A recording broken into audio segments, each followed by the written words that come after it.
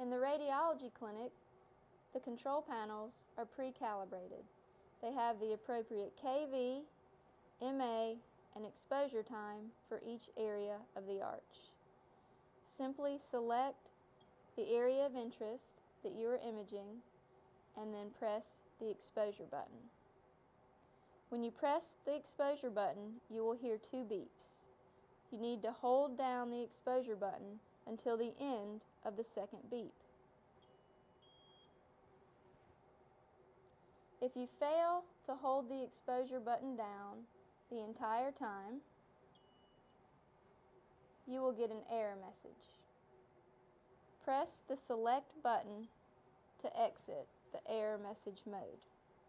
The error message means that you have underexposed the image. Do not retake the image.